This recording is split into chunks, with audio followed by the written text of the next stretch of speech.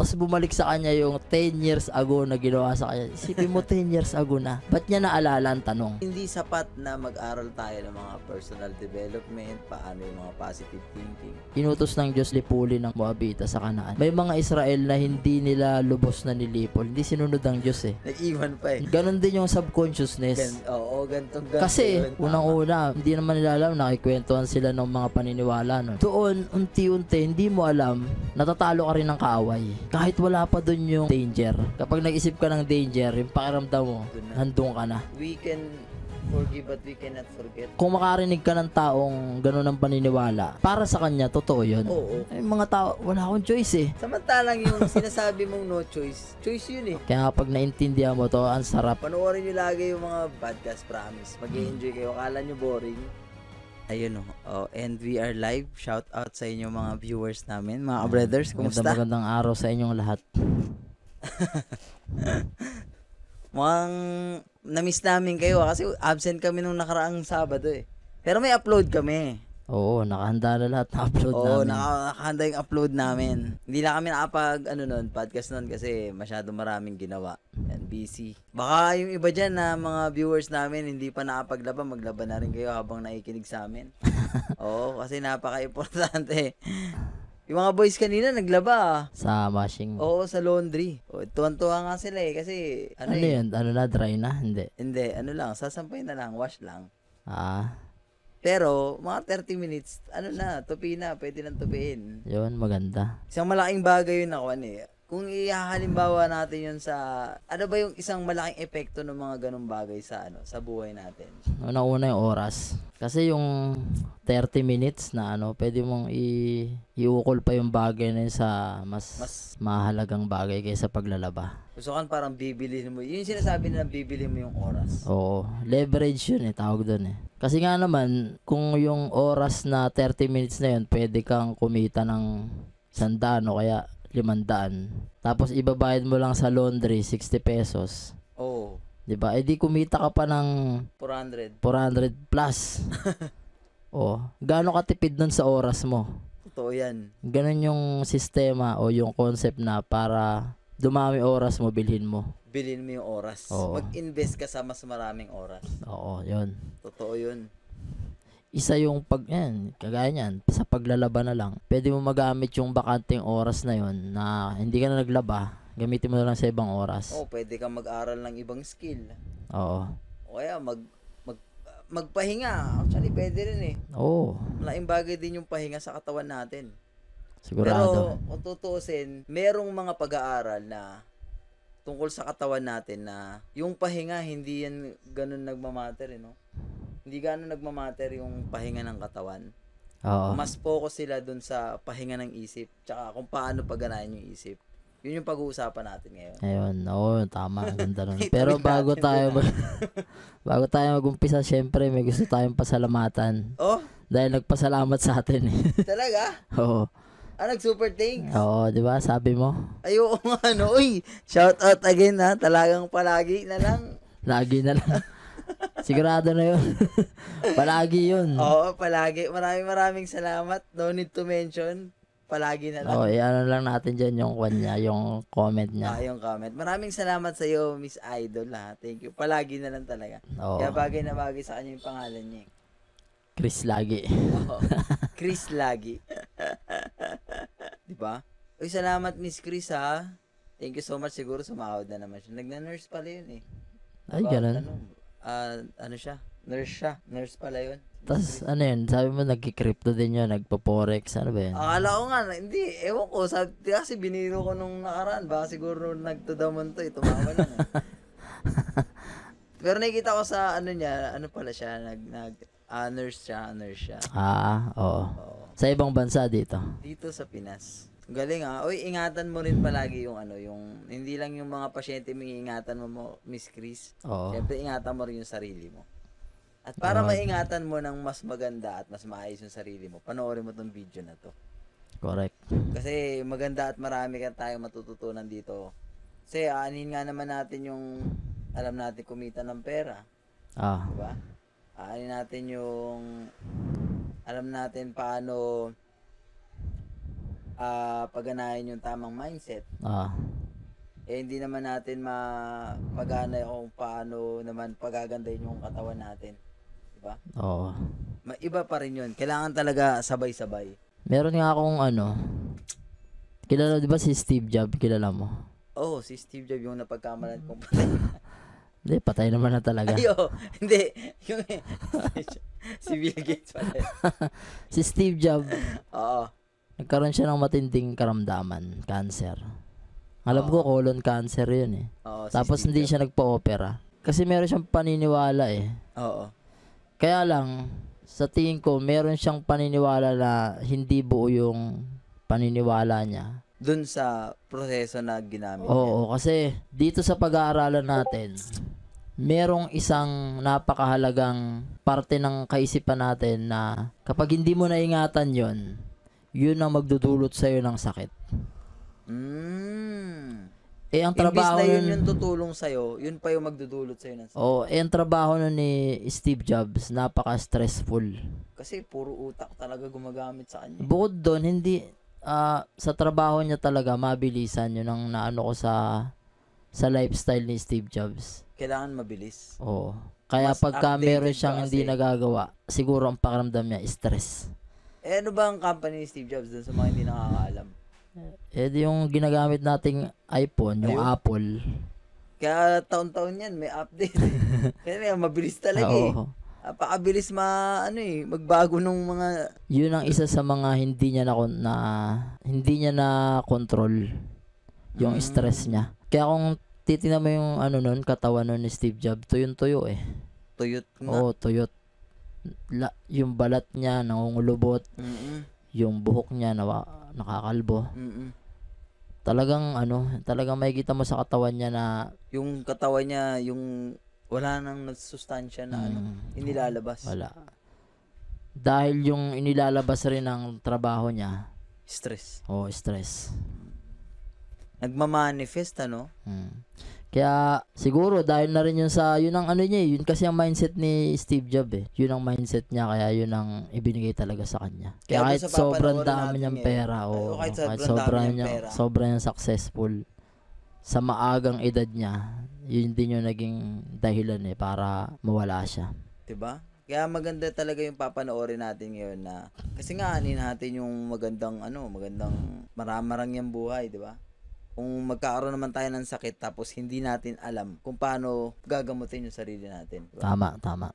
Kaya tara, simulan natin panoorin to, guys. Oo, pero pakilala muna natin yung ano natin. Ay, oo, yung bisita natin. Ay, yung papanoorin pala natin. Pangalan niya si Dr. Joe Spensa. Pakilala mo? Dr. Joe Si Dr. Joe Dispensa. Dispensa. Nakakita ko to minsan dun Saan sa podcast eh. O, saan mo nakita? Pala. sa podcast ni Tom Billo ba yun? Pero nung umpisa kong basahin yung iba sa mga libro niya kagaya nung You Are the Placebo, di ba? Nasabi ko na sa Oo. yun. Na ano ko na rin yun. Napainggan ko na yun sa Ang audio. kwento niya, triathlon siya. Yung nagbabike, nagsiswimming, tsaka tumatakbo. Tumatak. Ngayon sa Atleta pala to Oo, si Dr. Joe. atleta.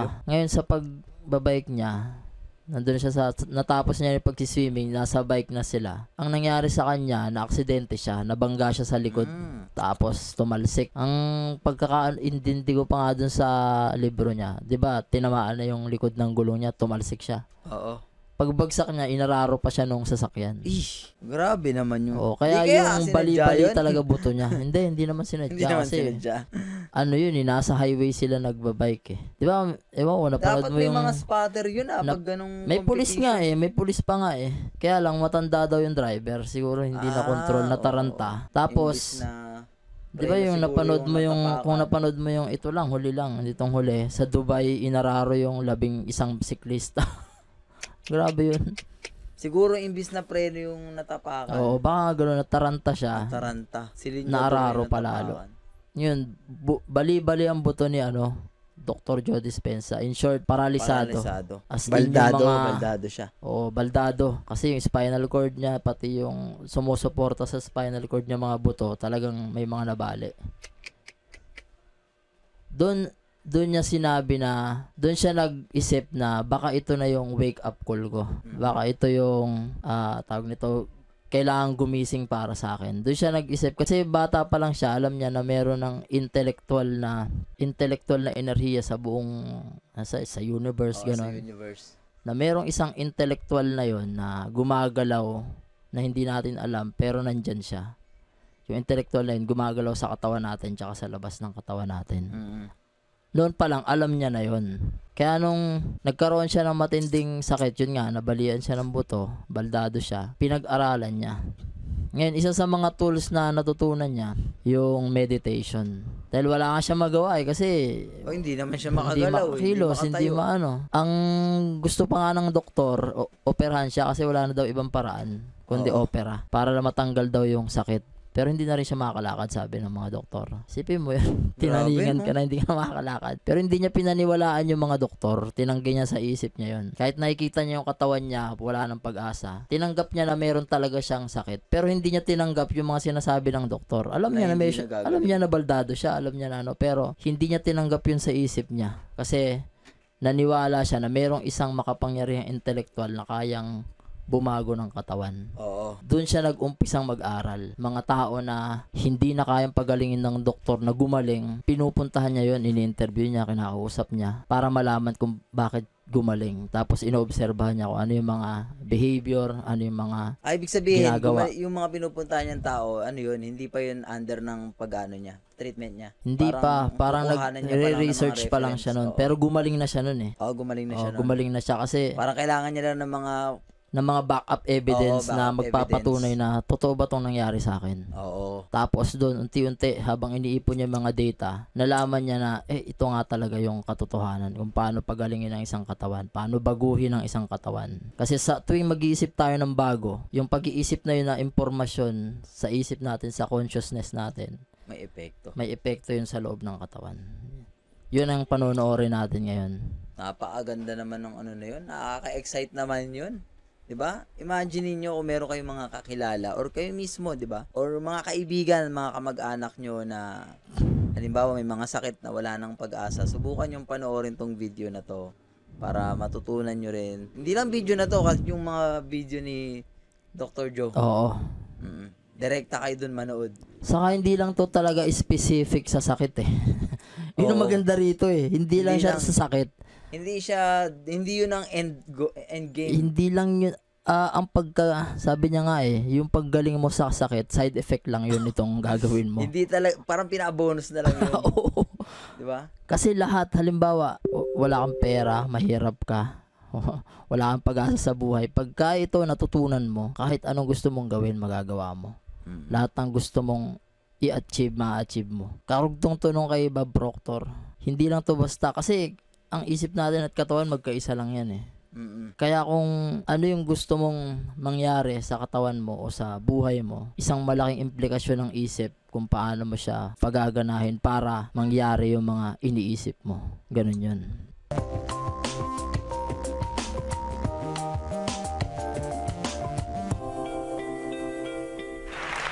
Good afternoon. Now we have three Sa TED pala siya nagsalita, no? Pag nagsalita ka sa TED, masyadong mataas ang ano niyan. Mga intellectual speech diyan. brains that allow us to go from thinking to doing to being. Each brain is its own individual biocomputer with its own anatomy and own circuitry, its own physiology and chemistry. They even have their own history as well as their own sense of time and space. Now, the first brain, the neocortex, It's the newest brain in evolution. It's that walnut shaped structure that sits on the outside with all of its folds and valleys in yellow there. It's the newest, the most evolved, and highly specialized in human beings. Right under the neocortex is called the limbic brain, the chemical brain, the emotional brain, or the mammalian brain. It's about the size of a lemon, and it's responsible for regulating internal chemical order. Right in the back of the brainstem there in, in red is called the cerebellum, the reptilian brain. It's the oldest brain in evolution. Pansinin mo yung utak natin, ano, may tatlo pala silang klase. Yung makikita mo dyan dilaw, ang tawag dyan, yung pinakamalaki, yung cerebellum, tawag niya dyan. Mm-mm. Yung sa loob nun, yung parang, ayun, yung parang Parang palaman. Oo. Yung nasa gitna, yun yung emotional brain. Yung emotional brain na yan, nagre-release ng chemical. Mm. Sa tuwing meron ka may experience, may i-release siyang chemical. Ngayon yung pula sa ilalim, ayan yung tinatawag na, ang tawag nga dyan, oldest brain. No? Pero tingnan mo, Mm-mm. Ano yun? Reptilian brain. Reptilian brain. Parang yan yung dumaya kay Eva eh. Di ba? Oo. Kaya nga sabi niya, yan yung seat, yung nakaupo sa subconscious. Yan pula na yan. Mm. Kaya mo sa yung yung mismong yung isip natin tatlong klase rin. Ay yung brain natin Brain. tatlong klase. Pagka hindi mo yan naintindihan kung paano gumagana yung brain na yan. ang ang nung nag-aaral tayo sa ano, dalawa lang ang sabi, left and right eh. 'Di ba? Pero pag sa mas malalim pa lang pag-aaral, tatlo pala talaga. Oo. Neuroscience na kasi yan eh. Talagang specialty sila sa mga Neuro. sa mga ugat. Oo. Ugat kasi yan eh. Reptilian brain. Grabe no. Reptilian yung tawag. It's the seat of the subconscious mind. Now, your brain is made up of about 100 billion neurons. If you took 100 billion sheets of paper and stacked them on top of each other, it would be 5,000 miles high. That's the distance from Los Angeles to London. Now, nerve cells possess the unique ability to store and communicate information between each other. So, your neocortex, your thinking brain, is the seat of your conscious awareness. You're listening to me right now with your neocortex. And what the neocortex loves to do is to gather information. And every time you learn something Neocortex yun yung malaki. Yung malaki. Oo, yung malaki yun, yung kulay dilaw. Oo. Kung kay Bob Proctor naman, yan yung Conscious yung yan. Conscious oo. yan. Teka lang, yung ano kasi, may sinabi pa siya dyan na yung neocortex, yun yung ginagawa natin kapag nakikinig tayo, kung may impormasyon tayong pinapasok sa Sumasagap, atin. oo. Oo, yan yun. Yan yung nakadugtong dun sa five senses natin. Oo. Yung neocortex. new, you make a new synaptic connection in your thinking brain. That's what learning is. Learning is forging new connections. And every time you learn something new, your brain physically changes. Yun no. 'Di ba may sinabi siya yung mga neurons, yung kanina nakita natin parang Oo. mga ugat-ugat na maliliit. Balik natin. Gumagalaw nga eh. Ayan. Oo, pero meron pa dyan yung isa pa, tingnan mo. Yung dun sa sa isa, yung hindi, yung parang ano siya. Para lang siyang nga, drawing. mag- parang drawing. Parang drawing. Hindi, hindi yan. Sige pa. Yan, yung drawing na yan, para siyang ugat-ugat eh, no? Oo. Meron pala tayo niyang 100 billion sa, sa utak. Isipin mo kung gano'ng kadami yung 100 billion na yun. Grabe. Ibig sabihin, gano'n ka kayaman. Mas mayaman ka pa kay... Kung sa, mas mayaman pa tayo kung kaninong bilyonaryo. Na kapag ka, yung, yung neurons na yan, sumasagap yan ng impormasyon. Mm. Kaya nga kayang-kaya nating sumagap ng kahit anong impormasyon eh. Yung impormasyon na kahit hindi mo nakikita kasi itong mismong ginagalaw nating space, punong-puno to ng impormasyon, hindi mo lang makita. Ngayon, tumatama yan sa, dyan sa mga neurons na yan kapag ka dumadaan sa atin. Oo. dumadaan Kasi sa ang, senses. sabi nga, ang law of, ano yun, law of vibration, walang tigil na paggalaw, pag-vibrate. Yung mga impormasyon na yan, labas-pasok yan sa isip ng tao. Tumatama yan sa mga neurons natin. Maliliit yan na hindi mo lang napapansin pero may mga nasasagap ka Mm-mm. na hindi mo lang namamalayan. Kaya nga unconscious ang tawag dun eh. Sige, tuloy natin. of your conscious awareness. You're listening to me right now with your neocortex. And what the neocortex loves to do is to gather information. And every time you learn something new, you make a new synaptic connection in your thinking brain. That's what learning no? is. Learning yan. Oo, is nagko-connect forging sila, new no? connections. Galing, oh. And every time you learn something new, your brain physically changes. So you read a book on how to Ibig sabihin, halimbawa kapag nakikinig kayo dito at meron kayong biglang natutunan, Mm-mm. Ibig sabihin, merong mga connection na dumudugtong sa bawat neuron nyo.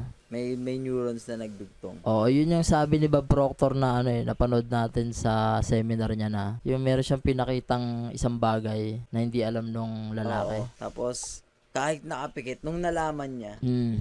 kahit nakapikit na, tapos nadadama niya. Kasi nga ano na eh, registered na eh. Oo, ang tawag doon, brain cell, tawag niya. Ah, brain cell. 'Di ba? Ang tawag niya brain cell. Ibig sabihin, kapag ka hindi mo pa natututunan yung isang bagay, wala ka pang brain cell nun. Oo. Pero once na ma- maintindihan mo, matutunan mo, yung sabi nga, learnings, doon nagkakaroon ng connection. Yun yung brain cell. Yung dating walang connection doon sa neurocell mo, magdudugtong sila. Doon, ka- doon nag-uumpisa yung pagkatuto. Mm-mm. Kaya nga mahalaga na lagi ka nagbabasa ng libro. Sabi, pag palagi kami natututunan, nagko-connect-connect. Mas maraming connection, ano? Mas madalas mo siyang gawin, mas lumalakas yung connection. Oo. Kasi halimbawa, minsan mo lang binasa, tapos hindi mo na inulit. Sabi rin dyan, yung connection na yan, ma- Nawawala din. na ano rin. Oo. Napuputol Eh, tama, din. importante nga na, ano? Oo. Napuputol din, ano, mga nakakalimutan, di ba? Kaya pala Oo. merong mga nakakalimutan, ganun. May mga ganong senaryo. Sabihin, may mga connection na natatanggal. Oo. Galing. At least alam natin na, na nangyayari talaga to physically. ride a bicycle, you read a book on how to build a doghouse, you read a book on how to dance the salsa, how to cook French cuisine, how to become successful, how to be a better parent. And your brain literally upscales its, upscales its hardware to reflect a new level of mind. The principle in neuroscience says this nerve cells that fire together wire together. And as you begin to learn new information, you biologically wire that information into your cerebral architecture. So if learning is making new synaptic connections, then remembering is maintaining and sustaining those connections. And just like any relationship, the more you communicate, the more bonded you become.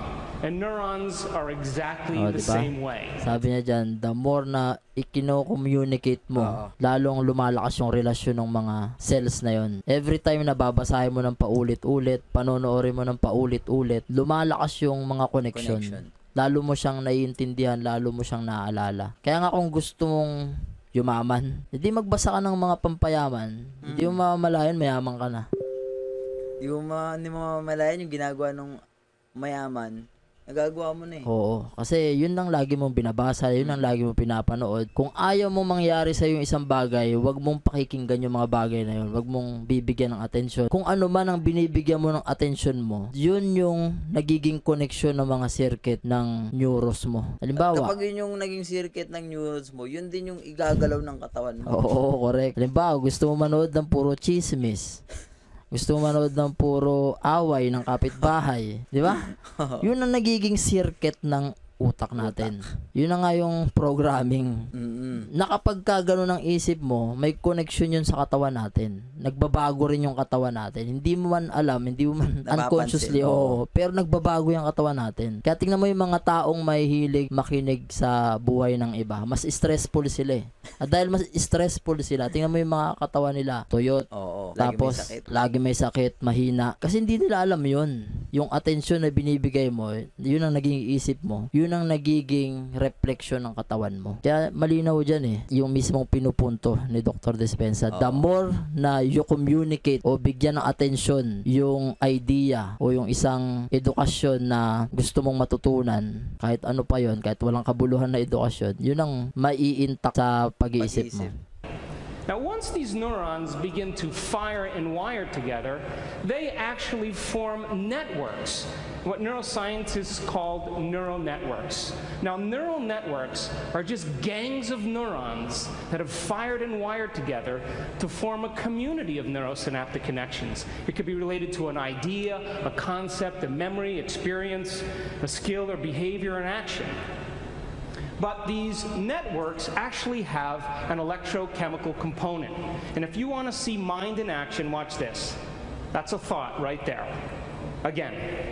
So you generate more electrical impulses in your brain in one day than Tingnan mo yung- pagkaka ano ng microscope sa isip. Oo. Ah, sa utak kapag ka nag-iisip, lumiliwanag yung mismong mismong mga ugat Ugat. Galing, Oo. know? Electro, electrical talaga yung ano eh. eh, electrical tsaka chemical. Kaya kapag ka nag-iisip tayo, yung utak natin lumiliwanag talaga. Kaya yung sa ano, yung yung mga memes na kapag may nagkaroon ng bagong idea, may lumalabas na bumbilya. Bombilya, oo, totoo yan. Diba? yung pala doon nakuha pala yun. Symbolic lang yun. Pero yun Symbolic talagang ano. Kaya sabi niya nga dyan eh, mas marami pa sa cellphone. Electrical impulse ng brain natin kaysa sa cellphone sa buong mundo. Yung kinikreate ng loob ng isip na, ng Grabe. utak natin. Ganon kakalakas ang isip natin. Oo. than all the cell phones on the planet put together. Now, the neuroscientific definition of mind is mind is the brain in action. Mind is the brain at work. Mind is what the brain does. And because we have 100 billion neurons seamlessly pieced together, we can make the brain fire in different sequences, different patterns, and different combinations. And whenever we make the brain work differently, we're changing our mind. So once you've understood something intellectually, theoretically, once you've understood something philosophically, if you take what you intellectually learned in your thinking brain and you apply it, you personalize it, you demonstrate it, it means you're going to have to modify your behavior in some way. And if you change your actions and you do something differently, you're going to have a new experience.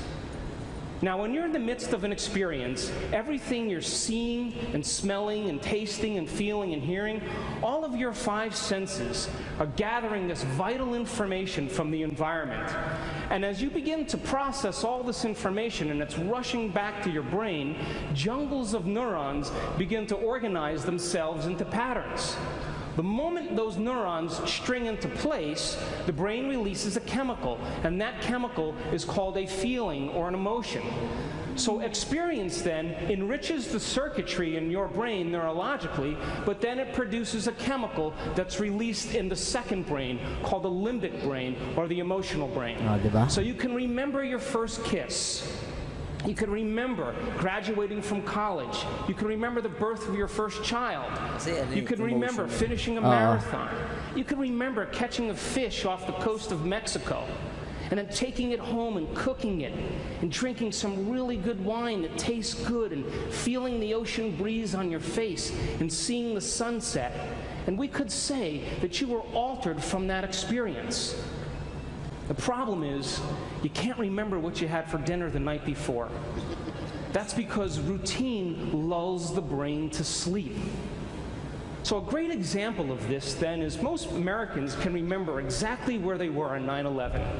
You can tell me who you were with, what time of day it was, and what you were doing. We could say then, when you were in the midst of that moment or that experience, everything you were seeing and hearing changed your internal chemical state. And the moment you felt altered in some way internally, your brain perked up and you paid attention to whoever or whatever caused it. And that event, in and of itself, is called a memory.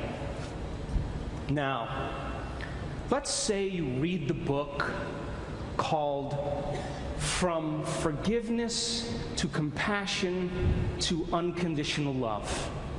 And this book had inspired you so much so that you decided to read it twice. And as you began to review this information in your mind and contemplate on it and self reflect, you begin to cause those neurons to form into networks to reflect a new level of mind. You find yourself in the shower thinking about it.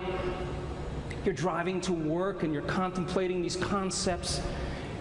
You begin to talk to your friends about what you learn, and you're beginning to develop long term relationships in those neurons. And all of a sudden, you're moving around your office and you're saying, you know, you need to be more compassionate, you know? Wow. And someone else, you say, you need to forgive. Everybody is impressed with your knowledge. They're knocking on your office door and they're asking you to administer to them, and you're resolving everybody's problems. Things are going really well. And all of a sudden, you're driving home from work and you get a call on your cell phone, and it's your spouse. And your spouse tells you that they forgot to mention in the morning that it's your mother in law's birthday. And you pull over on the side of the road and you think, I hate my mother in law. She hurt my feelings 10 years ago. She tells the same stories over and over again. And you begin to remember that you have some pretty stressful moments that branded you emotionally from your past with your mother in law.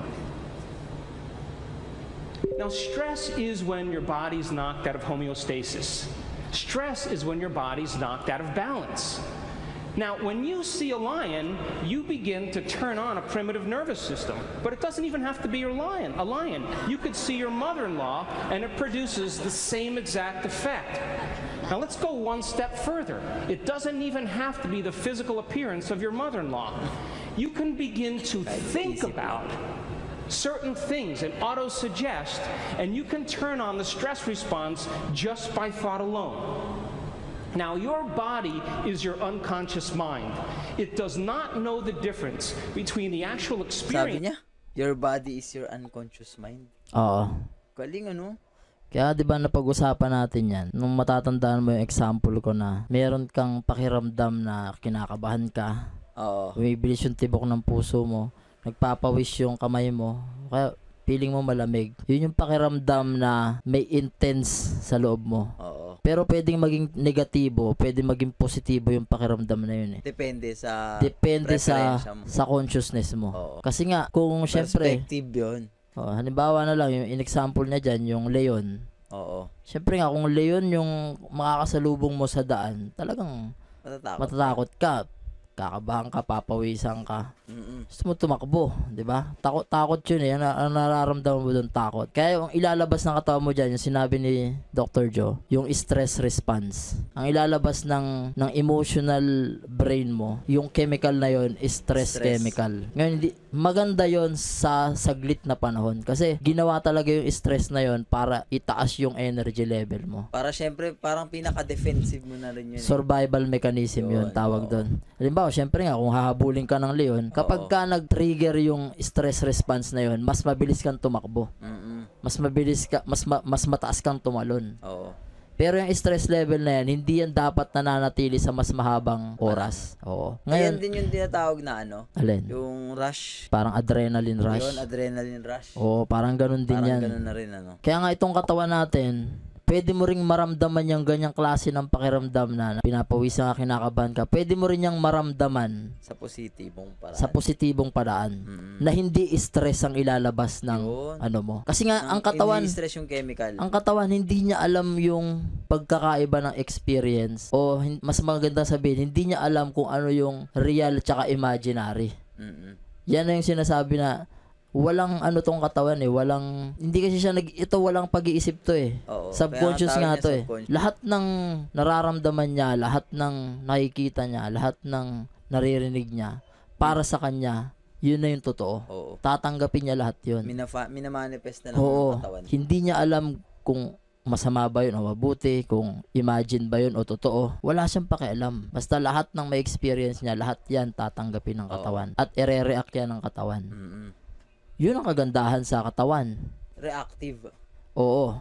Kaya lang, pagdating sa isip mo, Oo. Kaya nga- dapat pipiliin mo rin, 'di ba? Kung ano talaga ipapakain mo sa katawan mo. oo. Kaya yung sinasabi niya ni Dr. Joe Dispenza, yung sinasabing mind, yun daw yung brain in action. Kung paano umaksyon yung brain mo kapag ka meron ka naiisip, yun ang mind. Hindi talaga siya sa katawan. Hindi galing sa katawan. Nasa labas, nasa loob mo siya pero hindi siya parte ng katawan mo. Hindi siya physical. Yun ang ibig niya sabihin. Na yung pag-iisip natin, parang napakahiwaga nga ng pag-iisip eh. Kasi sa, kung sa Biblia lang natin pag-uusapan, ang tawag doon, espiritu. Yun lang yun. Napakasimple. Hindi mo talaga makikita. Mm, pero gumagawa sa'yo. Oo. Yun na yun. Yun yung mind na tinutukoy. Kaya dyan, in example ni Dr. Joe, yung isang tao na nag-aaral, na nakabasa siya ng libro tungkol sa passionate, ah, compassion, paggawa ng mabuti, ganun. Tapos nag-ano sa katawan niya yun, ano? Oo, nag-manifest. Nag-manifest. Kumbaga yung impormasyon na yun, sumi- yung impormasyon na yun, nasagap ng neurocell niya. Tapos yung mga cell na yun, nag- nagdugtong-dugtong para palakasin yung konsepto ng natutunan niya. Kasi sa, sa tuwing matututo tayo, nagdudugtungan yung mga cell na yun. Mm. Kaya sabi niya, the cell that fire together, wire together. Kung ano yung naka-align dun sa mga cell na, halimbawa, ito, para dito, magdudugtong yun sila. Na kapag nagdugtong yun, mas lumalakas lalo yung, mas lumalakas yung emosyon mo na pwede mong magawa yun dahil dun sa mga connection. Oo. Kaya nga pagka dumami yun eh, nagiging gang yun eh. Mas Dun- lalong tumitibay o yun. mas lalong lumalakas yun. Malakas. Yun yung talagang nangingibabaw sa katawan mo. Mm-mm. Nung matutunan niya na yung libro, naging siya na yun eh. Parang naging siya Oo. na kasi in-action niya na eh. Eh, hindi ganyan. na niya. Huwag kayo mag-away. Naging attractive na nga rin siya eh. Oo. Di ba? Kaya lang, nung pauwi na daw siya, tumawag yung asawa niya. Oo. Naalala niya ngayon yung nanay, ano, Mother-in-law. Ayun, biyanan. di ba? Tapos bumalik sa kanya yung 10 years ago na ginawa sa kanya. Isipin mo 10 years ago na. Ba't niya naalala ang tanong? Dahil yun doon sa emosyon na Da- nadulot. Oo, dahil, hindi, hindi lang dun sa emosyon. Kasi meron pa rin mga neuro na naka, Nakakonect pa eh. o konektado pa rin yun eh. Oo. Hindi niya naman tinabahong tanggalin eh, di ba? Hindi niya tinabang tanggalin, pero Oo. nakakonekta pa rin yun sa sa utak natin. Mm-mm. Tsaka kaya parang subconsciously, yun nga, subconsciously, nandun yun na hindi mo napapansin. Oo. Ngayon, Ibig malalaman pala, nun. tama, no? Na kapag meron tayong mga, kwan, hindi, hindi sapat na mag-aral tayo ng mga personal development, paano yung mga positive thinking. Hindi sapat yun hanggat meron tayong mga pagtatanim. Diba? Nahirapan ka eh. Mahirapan. Kaya tama yung pinapanood mo sa akin dati. Alin? Diba? Yung hindi gumaling. Hindi siya gumaling. Saan? Kahit bina- binago niya na yung ano niya, yung lifestyle niya. Oo, binago niya lahat. Oo, nagme-meditate Yung siya. diet niya, nagme-meditate rin siya. Pero meron siyang hindi binago. Oo, may, yun yung nangyari dito sa ano, Oo. sa lalaki. Yun ang isang bagay na dapat isinabay niya na pwede niyang alisin. Kasi yung mga ganyang ano, pag-iisip, sobrang lalim yan. Oo, sa bagay. Hindi mo yan basta-basta Imagine 10 years. mararamdaman eh. Pero kapag ka lumabas yan sa'yo, at kung meron ka ng awareness, ma- ma- Mapapansin mo madali na, mo siyang oo. ma- mahuli. Oo, Di ba? makakatch na ng isip mo, uy, teka, dapat, ito na alisin ko na dapat. Oo, ito yung ito siguro yung umaano sa akin kaya hin- kaya hindi ko magawa tong isang bagay na to. Oo. Kailangan tanggalin ko to. Kasi hangga't hindi yun lumalabas talaga sa emosyon mo, hindi mo makikita yun eh. Oo, hindi mo mapapansin na nandun pa eh. Mm. Kaya nga napakalalim nitong ano, pag-aaral tungkol sa pag-iisip. Si Myron nga eh, in-example niya yung mga Moabita na sinabi niya, inutos ng Diyos na 'di ba lipuli ng Moabita sa Kanaan. Mm. May mga Israel na hindi nila lubos na nilipol, hindi sinunod ng Diyos eh. Nag-iwan pa eh. Nag-iwan. Ganon din yung subconsciousness. Gan, oo, gantong ganto Kasi yun. kapag ka nag-iwan ka, hindi mo sinunod ang utos ng Diyos, lalaki yun eh. Hindi mo papansin na kasi hindi mo pinatay, nandun lang yun Oo, sa ano mo. andun.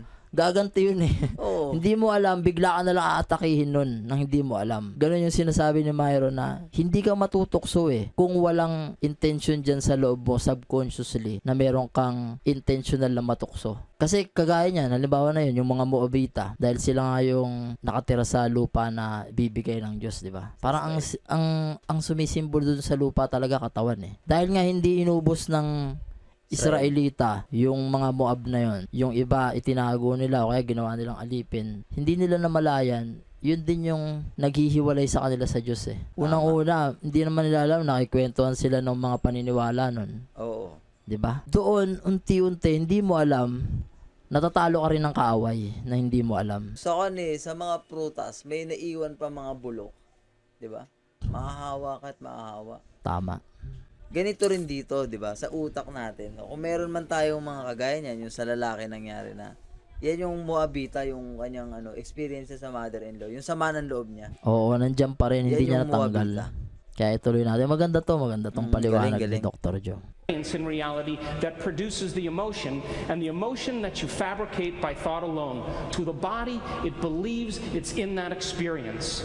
So the moment the limbic brain begins to make a blend of neuropeptides, it begins to signal the hormonal centers, and you get a rush of energy to prepare you for this event, real or imagined. The moment that happens, you become altered in some way, The Fight or flight nervous system causes your pu- pupils to dilate, your mouth gets a little dry, all of a sudden your heart rate begins to change, your respiratory rate changes, and blood is being sent to your extremities, and now you're prepared to either do battle with your mother in law or never go to the dinner. To stay and run, stay and fight, or to run. Now, what was once highly adaptive all of a sudden is now maladaptive. Because when we turn on the stress response and we can't turn it off, now we're headed for disease. So then you're sitting on the side of the road, and then you think, I read the book on compassion. Damn. The moment you begin to think about what you have to do, something very natural happens. You begin to think about what you were thinking about. You begin to pay attention to how you're reacting. Yun. You begin to notice how May you're feeling. na. And that concept in neuroscience Hindi, tuloy mo na isa pa. is called metacognition. We can observe who we're yung being. sinasabi ko sa'yo na And ano, because we metacognition. Iniisip mo kung ano yung iniisip mo. Isip mo. 'Di ba? Parang nagkakaroon ka na, teka, itong iniisip ko ba na to? Beneficial ba to? ba to? Oo. Nakakatulong ba sa akin to? Oo. Kasi pag nag-iisip tayo, yung palang katawan natin, nagre-react na rin agad. Habang nag-iisip pa lang. Kahit wala pa dun yung danger. Kapag nag-isip ka ng danger, yung pakiramdam mo, na. nandun ka na. Kaya nga, ganun din sa ano eh. Gusto mong maging mayaman, mag-isip ka lang na mayaman ka eh. Maramdaman mo na mayaman ka. Mayaman ka na talaga eh. Mm-mm. Although hindi mo lang talaga nakikita, pero yun na yun eh. Kaya nga merong mga memes, eh, no? Mayaman ako eh. Pera na lang kulang. To yun eh. Oo. Di ba? Hindi mo naman kailangan maging mayaman dahil, Maraming pera. oo, hindi naman ganun Hindi yun naman eh. ganun eh. Kasi yung mayayaman, bago sila yumaman, pakiramdam nila, mayaman na sila. Kaya itong konsepto na to ni Dr. Joe, magagamit mo to hindi lang sa kalusugan mo. Oo. Sa lahat ng aspeto ng buhay mo, pwede mo tong gamitin. Social, ah, financial, Oo. spiritual, we can observe who we're being, it means we could modify our behaviors to do a better job in life. So now the frontal lobe is the seat of your awareness. It's the home of the you and the me. And as you begin to think about who you no longer want to be, the frontal lobe acts like a volume control. And it begins to lower the volume in the circuits in your brain that are connected to the old self. And as it begins to silence those circuits that are connected to the old level of mind, that level of mind no longer fires and you're observing it instead of participating in it. And as you begin to silence those circuits, nerve cells that no longer fire together no longer wire together. And you begin to biologically break down the circuits in your brain that are connected to the old self and to the old mind. Galing, ano? Nangyayari yan automatic sa brain natin, you know? Kayang-kaya mo nang kontrolin kasi Oo. may awareness ka na eh. Tama. Hindi ka gaya yung iba tinatanggap na lang, eh, malabo na kaming magkasundo niya. Ayaw sa akin yan eh. Yon. Di ba? Ganun yung mga ano eh, yung mga typical na pag-iisip ng mga taong mababa yung ano, self-awareness, Oo. self-conscious sa isip nila. Galing ano. Saka yung parte pala ng utak natin, napipili talaga natin kung alin talaga yung yung sabing hindi ko na makakalimutan yan. Ah, may may ano yun, yung sinasabi ano, we can forgive but we cannot forget. Oo. Pwede naman eh. Pwede. Pwede. Pwedeng makalimutan. Kasi kung makarinig ka ng taong ganun ang paniniwala, para sa kanya, totoo yun. Oo. Kasi yun ba? yung naniniwalaan niya. eh. Pero kung Para sa kanya yun, totoo yun. Oo. Pero kung iibahin mo yung paniniwala mo, Tama. Yung pwede mo ring perspective mo. ibahin yun. Oo. Oo. Kaya nga dito, yung sinasabing meta-cognition, isipin mo. Iisipin mo kung ano yung mga iniisip mo. Oo. Tapos pipiliin mo yung mga isip na yon kung alin ba doon yung dapat manatili at kung Tama. ano yung dapat Tam, Itapon mo na. Oo. Kasi kung hindi mo alam yung ganyang konsepto, talagang mananatili kang biktima ka ng sarili mo. Kasi, Sunod ka na lang oo, kung wala-. Wala akong choice. Ay, mga tao, wala akong choice eh. 'Di ba? Samantalang yung sinasabi mong no choice, choice yun eh. Oo, tama 'yon. Hindi mo pwede sabihin no choice, eh yung pagkakaroon ng no choice. Choice, choice na 'yun eh. Hindi lang talaga naiintindihan 'to ng mga tao. Maraming hindi nakakaintindi. Kaya kapag naintindihan mo 'to, ang sarap. Oo, panoorin nyo lagi yung mga ano natin, podcast, promise. mag enjoy kayo. Akala nyo boring. Sa umpisa boring, kahit kami masasabi namin boring. Alam mo ba't nagiging boring? Kasi merong nakaprogram sa iyo na hindi mo pa natatanggal. Kagaya nga niyan, ano? May mga connection ka pa na dapat matanggal eh. Oo. Magagawa mo yun kapag ka na- nanonood ka ng paulit-ulit, o kaya nagbabasa ka ng mga libro ng paulit-ulit. hanggang sa matanggal mo yung mga dating nakakonect sa'yo na pag-iisip. Nakaprogram. Oo. Yung mga ipoprogram mo na yon na panibagong program na ipagdudugtong-dugtong mo sa isip mo na neurons, yun ang magiging pattern mo ngayon. Kaya mapapansin mo sa katawan mo, dati hindi ka ganun, pero ngayon parang bago na ako. Oo. Mapapansin mo, yun. Hindi yan, mo hindi yun, na kayo nagkakasakit. hindi mo yung kailangang ipabalidate sa ibang tao eh. Kasi ikaw mismo, Ikaw mas makakaramdam. mararamdaman mo yun sa sarili mo. Hindi mo na kailangan ng ibang taong i-validate pa na nagbago ka. Hindi. Oo. Ikaw mismo, mararamdaman mo sa sarili mo na nagbago ka. Yun yung bagong pagkatao. Tama. At pupunta tayo doon siguro sa mga susunod na podcast. Napakagandang pag-usapan nun. Now, as you're sitting on the side of the road, you think, what piece of knowledge could I apply in this situation from what I learned in the book? And as you begin to plan your actions and you begin to think about a new way of being, and you begin to put yourself into the equation, your brain naturally begins to fire in new sequences and new patterns and new combinations. And whenever you make your brain work differently, you're changing your mind because mind is the brain in action. And as the brain begins to fire in new ways and you produce a new level of mind, nerve cells that fire together wire together. So, ibig sabihin pala, itong utak talaga natin, may mga combination to ng mga neurons Oo. na nagko-connect, ano. Hindi siya steady. Hindi. Pwede mo siyang mapili kung ano yung Oo. gusto mong connection Ikaw, ng... nag-connect siya ng hindi magandang pangyayari sa'yo, pwede mong alisin yun. Pwede mo alisin. At i-connect sa ibang, ano, mas magaganda. Oo. Paano mo gagawin? Simple lang, tatanggalin mo yung attention mo doon. Tama. Ibaling mo sa iba na gusto mo. Halimbawa, meron kang matinding experience sa... Broke sa, up. O, yun. Mm. May mga taong hindi kayang hindi kayang tanggapin yung ano eh. Yung nakipaghiwalay sa mga asawa o Kaya kaya tingnan mo yung boyfriend. ginagawa ng ibang lalaki dahil hindi nila kaya binubugbog nila yung asawa nila tinatako, binablockmail nila na Oo. papatay nila. Kasi nakapokus yung attention nila dun eh. Tama. At saka wala silang metacognition na hindi ka naman dapat maging attached dun eh. Kasi kung gusto mo talaga yung isang tao, hindi mo kailangan siyang pilitin na magustuhan ka. Totoo yan. Kailangan i-attract mo siya na siya mismo ang lumapit sa'yo. Oo. May mga kasi tao kapag kasi, may mga bagay, naniniwala nga ako eh, na kapag ang bagay para sa'yo, ma-attract mo yun eh. Oo, correct. May mga tao kasi ang isip nila, manipulator. Mm-mm. Nakakala nila, kaya nilang imanipula yung panglabas nilang kapaligiran. Mali, Oo. baliktad kasi sila mag-isip eh.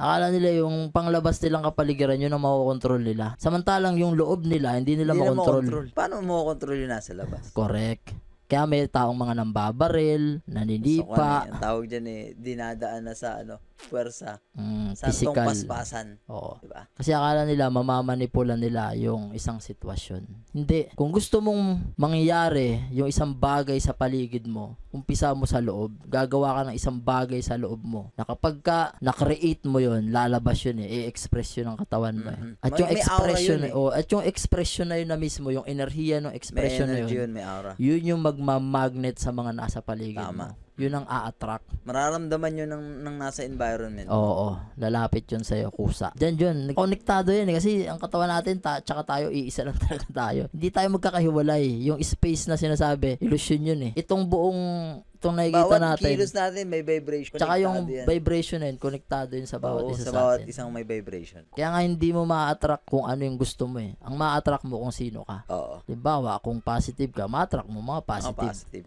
Kung negatibo ka, syempre, negatibo rin ma-attract mo. Ganun lang yun eh. Sige. Natin. And you begin to install the neurological hardware ahead of the actual experience. And now you have circuits in place to use when you get into that dinner. So now, as you ask yourself, what is compassion, and you begin to remember all these different things that you learned in the book, the frontal lobe, like a great symphony leader, begins to synchronize these oh. circuits. And when it begins to produce a certain level of coherence, a certain level of mind, your brain naturally creates a hologram or an image. And that image then becomes the internal representation of what you are going to use when you walk into that dinner. We would call that intention. Now, there's a very, very unique shuffle that kind of goes on microscopically between uh, different circuits in your brain. You're trying to fire this new thought called compassion. But remember, you fired and wired all these other circuits based on the last 10 years. So as you're beginning to fire this new thought, all these other thoughts are saying, you hate your mother-in-law, you don't want to go to that dinner. Why don't you start tomorrow? This isn't a good time to do this. Oo. But if you persist with a certain amount of amplitude and you put your attention behind that thought, sooner or later, that thought will be the strongest and loudest voice in your head. Now, the moment that becomes the loudest voice in your head, the brain has to seal that circuit more permanently. So when the action potential is firing down the neuron from the presynaptic cleft to the postsynaptic cleft, there's a glue that seals the circuit called neural growth factor, and it travels in the opposite direction. But there's only a certain amount of that neural growth factor to go around. So it starts to steal the glue from the neighboring circuits. And when that happens, there goes your memory of your mother-in-law hurting your feelings 10 years ago. There goes the thought that you hate her. There goes the impatience. There goes the intolerance. And the only signal now that's traveling to that neuron is called compassion. Now, every place where one neuron connects with another neuron is a memory.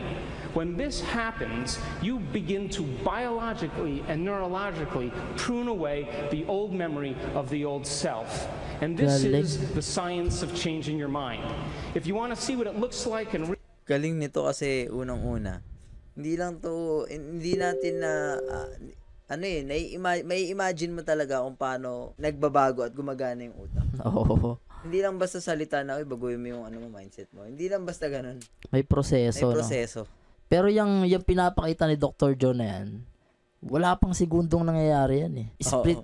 Hindi, baka wala pang segundo yan na nangyayari na nagaganap Sobrang yung gano'n. Oo. oo. Electrolyte, ano yan eh. Electrical yan eh. Mm, electrical yan, sobrang bilis niyan. Isipin mo na lang yung pagka nagkaroon ka ng isip, pagka nagkaroon ka ng isang idea. Sa Biblia, ang tawag doon eh, nung sinabi ng Diyos magkaroon ng liwanag. Bilis eh, no? Oh, ganun kabilis. Nung sinabi niya magkaroon ng liwanag, ganun yung pag-iisip natin. Kapag ka meron kang naisip na isang bagay, ayun na yun eh. Totoo na yun. Kaya nga kapag ka nag-imagine ka, Totoo at na yun. pumasok na yun sa isip mo, nakita mo na yung ano, totoo na yun. Oo. Sabi nga ni Myron eh, mas totoo yung hindi mo nakikita kesa sa physical. Oo. Oo. Yung hindi mo nakikita, yun ang Manifestation oo. ng mga bagay na nakikita, na nakikita na natin. Yung nakikita natin, manifestation lang yon ng mga bagay na hindi natin nakikita. Ngayon, dito sa circuit na sinasabi ni Dr. Joe, na meron pala tayong circuit sa utak na kapag ka tinanggal mo yung attention mo doon sa mga dating, sabihin na lang natin, dating gawi mo, dating mga sinasabi mo, Experience, oo. dating experience mo. Kapag ka may isang circuit ka na tinanggal doon,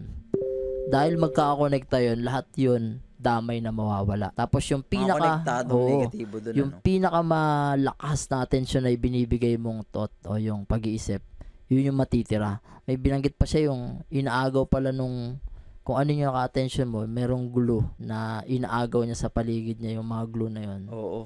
Para mas lumakas yung Mm, mas lumakas binibigyan mo yung ng attention. Oo. Ngayon yung mga hindi mo na binibigyan ng attention, gaya ng mga pangit na pangyayari sa'yo, Oo. mawawala yun sa isip mo.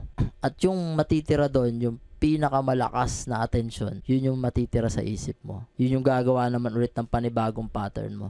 Kaya ang linaw sa Biblia, ang tawag doon bagong pagkatao eh.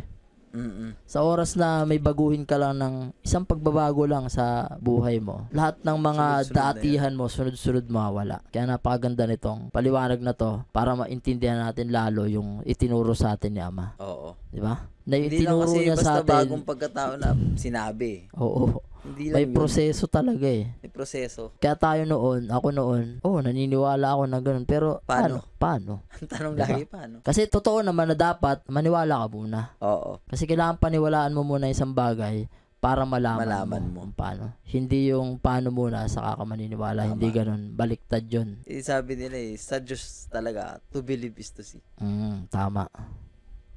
Lahat ng mga believe eh. lahat ng mga successful na mga tao, ang unang-unang pattern na alam nilang ginawa nila kaya sila nag-successful, naging successful, naniwala Naniwala. muna sila. Meron nga nakita ko, ewan ko totoo yung memes na yun, tungkol te- kay Tesla. Parang may nagtanong sa kanya na, kasi di ba napaka-advance na nung Oo, napaka-advanced Mga ng technology ng Tesla. inimbento niya. Ano pa yun ah? Sabi Eight- naman, ah, ah, 18th century pa 18th yata yun. century pa, oo. Sabi nung isang parang estudyante niya, sabi niya, paano ko malalaman to? Sabi doon, nagtatanong kay Tesla. Ang sagot ni Tesla, sabi niya, maniwala ka muna. Mm-mm. 'Di ba? Yun yung una yung sagot eh. Kailangan mong maniwala muna para malaman mo, para maintindihan mo. Meron nga akong napanood sa ano, sa Iron Man. Ewan ko nalo yun. yung lumang video ng Iron Man, nakalimutan ko anong, si, anong ano nun. Sabi dun nung tatay niya, may naiwan siyang ano eh, video ng tatay niya. Sabi, magagawa ko. Meron siyang ano, meron siyang, kaya lang hindi niya daw kayang gawin dun sa panahon na yun kasi kulang pa yung ano, kulang pa yung impormasyon. Pero dahil dun sa anak niya pinasa, dun nagawa yung Iron Man. Galing. Ah, May dikta din. oo. Kasi hindi pa nag-evolve eh. Pero imagine niyo yung kay Tesla na technology na ginagawa niya. Yung mga makina na battery, Oo. yung pagta-transfer ng electricity mula sa wireless. Wireless. Yun ang matindi wala wala kang Bakit makikitang hanggang physical. ngayon, di ba? Oo. Wired, karamihan wired pa rin. Kung totoong talagang nag evolve yung tao. Sabi nila, nag ano daw eh, umaasenso eh, umaano eh. Bakit may, bakit ano, wired pa rin? Siguro, ano lang yun, propaganda lang na ano, na sinasabing, ano yun, umuunlad yung karunungan talaga. Pero Oo. hindi. Kahit nga nung panahon ni Santong Abra, ah, Santong Noe, di ba? Pinag-usapan nga natin dati, akala ng karamihan na si Santong Noe, yun lang ang alam. Oo. 'Di ba? Pero dahil nga nabuhay siya ng 800 800 years, 800 years. 800 years na buhay si Santong Noe. Imagine niyo yung gaano katibay ng mga neurons na meron siya. Ako, sobra. Grabe. Di ba? Tayo nga lang, nabubuhay tayo 80. Yun, 800. 10 800 100. times. Grabe yung ano nun. Grabe mga mga sa isip nun. sa isip nun. Sa libro ni Enoch, idinitalye ni gumawa ng mapa si Santong Adam eh. Idinitalye Si niya yung Santong Adam. idinitalye niya yung bawat lugar sa buong mundo. Oo, Na totoo mapa. yan. Mababasa natin sa Biblia yan. Kung nasa ng hilaga, buong mundo yun ah. Kasi hinati niya, Imagine hina, tatlo lang naman ang hinati niya eh. Kasi tatlo lang naman anak niya eh. hinati niya sa tatlo yung buong mundo. Tama. Tapos, lahat ng mga lugar na yon binanggit niya kung nasan. Oo. Kung saan yung mga hangganan ni Ha, ni Sham, ni Sem, at ni Japet. Ganon ka-advance ang tao noon. Oo. Kaya yung sasabihin nila advance ngayon, hindi na hindi ako masyadong ano eh.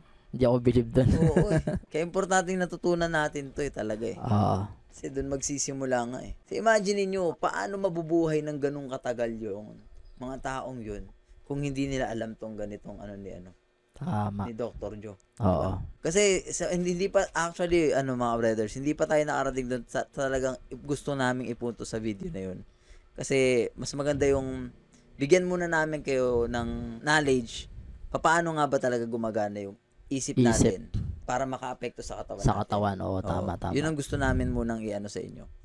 Pero sa mga susunod na podcast namin, mas maano, mas matitindi yung pag-uusapan natin. Oo, yung tungkol- akala nyo imposible, eh pwede. Pwede pala. Mm. Tuloy natin to, tuloy natin. Mahaba-haba pa to. real time. Let's try that again. You want to see what it looks like in real time? Unhooking from the old self, reconnecting to the new self. This can happen in moments. Now, get back on the road, you make your U turn, you're heading to the dinner, you're reminding yourself who you no longer want to be, silencing those circuits in the brain. You begin to think about who you do want to be based on the knowledge you've learned, and you're priming your brain ahead of the actual experience. You walk into the dinner and you get your behaviors to match your intentions. You get your actions equal to your thoughts. You get your mind and body working together, and you do exactly what the book says. The moment that happens, all of a sudden you feel compassion. Now, the moment your heart begins to open and you feel compassion, you are teaching your body emotionally to understand what your mind intellectually understood.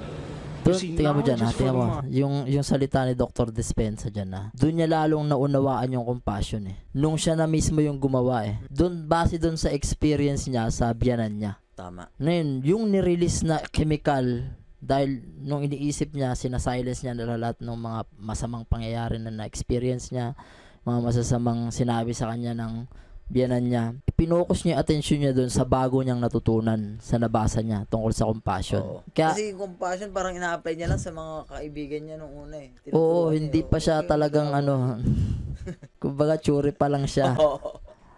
hindi niya talaga naiintindihan kung gaano kahalaga. Parang ganito yun eh, yung sa sa, halimbawa, sa eskwelahan, ano? o kaya naman, nakabasa ka ng libro tungkol sa, halimbawa na, sa pagpapayaman. Oo.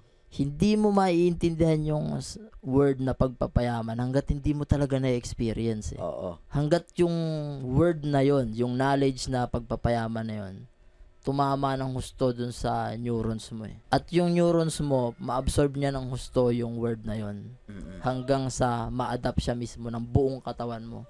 Kaya yung salitang pagyaman, hindi na lang basta yung nasa isip mo. Ikaw na mismo yun eh. Katawan mo na mismo Oo. yun. Yung mismong inire-release na chemical nung salitang pagyaman, ikaw na mismo, nararamdaman mo eh. Kaya yung kilos mo, yung galaw mo, yung salita mo, ikaw na yun eh. Kaya tingnan mo dyan, na natutunan niya kung paano yung talagang compassion na isabuhay niya. Kumbaga, yung salita, nagkatawang tao. Tama masasabi niya yan dyan eh. Mind, but experiences for the body.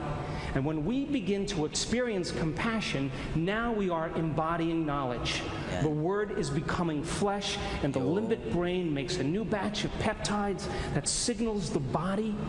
And you begin to literally change your genetic expression because there's new information coming to the gene. And epigenetically, we signal genes from the environment. And you're changing the fabric of you because you're instructing your body chemically to understand what your mind has intellectually and philosophically understood. But it's not enough to do it once. You can't forgive your enough to do it mother in law one time and expect to be on the stained glass windows in church. You got to be able to repeat the experience. You got to be able to do it over and over again. You have to do it so many times Kaya nga lagi namin sinasuggest talaga dito na kung mapanood nyo tong mga video namin, ulit-ulitin. Hindi sapat yung isa, dalawa, tatlo. Hindi sapat yun. Mm-mm. Kasi, lalo na ako, talagang hin- hindi dumadaan ng araw na wala akong pinanonood na ganitong klase ng edukasyon. Oo. Hindi lumalampas yung araw. Talagang Meron oras-oras. meron. oh. Actually, nahanap-hanap mo na nga eh. Para ka ng addict. eh, Oo, no? addict ka na. Dati, Obsessed ka ng addict makinig manood eh. ng mga, yung mga vlog nila, Kong TV, although kahit pa paano kung talagang panonoorin mo ng positibo yung mga ano, maganda naman, may mapupulot ka. Kaya lang, syempre, kung gusto mo na ma-establish yung sarili mo talaga, Oo, ganito panoorin mo. tama. that you no longer have to think about it. And when you do it over and over again, you neurochemically condition the body to memorize compassion as well as the conscious mind. And when that happens, when the mind and body are working together, or the body knows as well as the mind, you activate that third brain called the cerebellum. The seat of your subconscious mind. You've practiced it so many times that you know how, but you Ito na yung sinasabi ni Bob Proctor na con, ah, subconscious. Oo. Re-registered na doon, ano. Magiging ano na yun, Automatic na yon. automatic na yun. Hindi mo na kailangan ng Auto-suggest, sabi niya nga kanina eh. hindi mo na kailangan mag-isip eh. Kasi automatic nang magre-react na yung subconscious mo Oo, tama. sa mga ganong bagay. Ang ganda nun kung yung subconscious mo nakaprogram sa compassion Oo, sa compassion. kaysa sa Teka lang, kung ang subconscious mo nakaprogram sa away, Oo, yun. Yun, yun yung pinakadelikado. kung maapektuhan yung katawan mo rin. Siyempre, maglalabas yun ng mga stress chemicals na nagdudulot nga ng sakit, sabi niya kanina. Oo. Nagdudulot ng disease. Ngayon, yung disease na yun, kapag binago mo yung mismong pagkatao mo, yun na kasi ang ano eh. Pag binago mo yung pagkatao mo, automatic yung disease na nakadikit sa dating pagkatao, mawawala rin yun. Oo, totoo yan. Kaya pala sabi ng Diyos dati, no, ah, nung yung sinita sila dahil hindi sila nagugas ng kamay. Ah, Diba? sabi. Sabi, at kakain kayo, hindi kayo nagugas ng kamay, sabi ng Panginoon eh. Ano nga yun, yung sakit ba nang gagaling sa labas? Ay, oo. Hindi nakakahawa yung hindi Yun. paghuhugas ng kamay. Ang Oo. nakakahawa yung lumalabas sa bibig. Yun ang nakakahawa. Galing sa loob kasi yun eh. Kaya Oo. nakakahawa. Yun yung sakit. Yun ang sakit. Yung galing sa loob. Tama. Linaw, grabe. Pag pagdudugtungin mo yung karunungan nila tapos yung nababasa mo sa Biblia. Diba? Iba kasi ang lingwahe ng Biblia, napakatanda. Tama. Pero kung ma-modernize mo yung konsepto ng Biblia, para din siyang Parang ito rin. Oh, yan na rin. Yan na, yan Oo, na yan na mismo. Kaya lang iba lang iba yung mga ginagamit na salita kasi no, napakatatandang salita. Oo, matatandang salita. Na kung maiintindihan mo practical yung i-apply mo siya, ganitong ganito yun. Ito ito na mismo yun eh, walang pinagkaiba. Oo. Aware naman siguro sila, no? Kaya lang hindi nga nila pinapasok yung biblical na kwan. Kasi nga, Kasi ginamit yung religion para i-divide ang mga pag-iisip ng Tama. tao. oo. Aware yan Maraming si hindi Dr. Tatanggap dun sa sinasabi nila kapag Oo. kapag Kasi alam nila religion. ginagamit ang religion para kumita ng pera. ipang-divide ng belief. Yun, tama. Kaya nagkakaroon ng mga kaguluhan, 'di ba? Kaya kahit yung konsepto nila Dr. John na galing sa Biblia, hindi nila in- in- kinokonekta at binabanggit. Kasi gumagamit sila ng ibang lengguwahe para mas makaabot ng mas maraming Tama. Mm. pag-iisip. Ngayon, kami naman, eh, kinokonekta namin kasi unang-una, para sa amin nga tong video na to eh. Para lalo naming maintindihan yung Oo. paniniwala namin. Tama. Kasi naniwala na kami. Kailangan na Ngayon, lang namin paano pa patunayan. namin palalakasin yung paniniwala na to? Mm. 'Di ba? Ito yung mga bagay na yon Tama. na magba-back up doon sa paniniwala namin. Eh, tuloy natin. You don't know how you know how. It's automatic. It's second nature. It's easy. It's a habit. It's a skill. It's an automatic behavior. And when you get to this level of memorizing an internal chemical order, a level of innate now, it's so innate in you that it's who you are. Alam ba yung When you get innate? to that point, Tiningnan ko yung innate na yan, katutubo. Oh, Oh, para siyang it's so innate in you. Mm, para siyang ano na sa'yo, ikaw na yun, parang ganun. Parang hindi na matatanggal sa'yo kasi ikaw na mismo yun eh. Oo. Yun yung, yung, yung ibig niya sabihin innate. Na kapag gumawa ka, ah, parang master mo na yung isang bagay. When you get to that point. point where no person, no thing, no experience can remove you from it because you have sustained this level of coherence. Now you're in a state of being. And so the way we transform the world is we transform ourselves. And when we're in that state of being, we give people permission to do the same. Thanks for listening. Tapos na yun.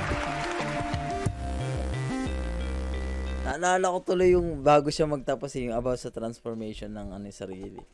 Yung may tata- yung may ano, yung may naalala ko tuloy yung bago siya magtapos. Naalala ko yung may nagtanong kay ano ah sino nga yun? JP Morgan ba yun? Hindi. Sino yun? Yung pinapanood ko lagi. Kalimutan ko, tingnan ko nga. Tinanong siya eh. Sabi, ano yung maiaano mo na kasi? Kasi ang narinig ko lang sa'yo, puro ano eh, paglilinis ng kwarto, pag ano lang yung mga sinasuggest para ano, mabago yung... yun, yun lang na yung sagot eh. Anong sagot? Sabi niya, sabi, eh, simple lang yung sagot niya dun eh. Sabi niya, eh, paano mo mababago yung mundo kung yung sarili mo nga hindi mo kaya? Correct.